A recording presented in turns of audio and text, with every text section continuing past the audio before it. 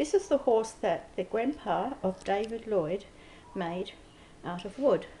And it rocks. It's just a little tap on its head. The horse is one of two that David Lloyd gave me when I taught him in the 70s.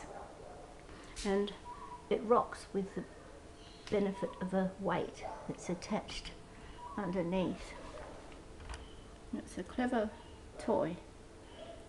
Hard to see, but I'll pull it apart in a minute.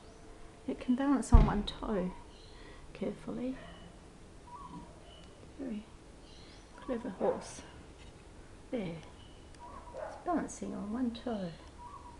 Come back. At that. How clever. A beautiful piece of work by a grandpa.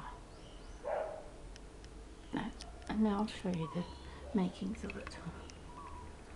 If I can with one hand.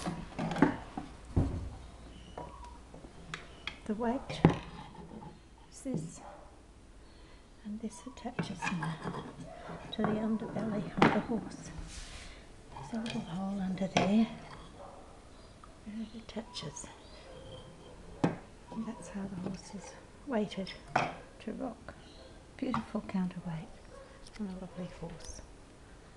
I've for years, about 40 years I think I've had him. Thank you David.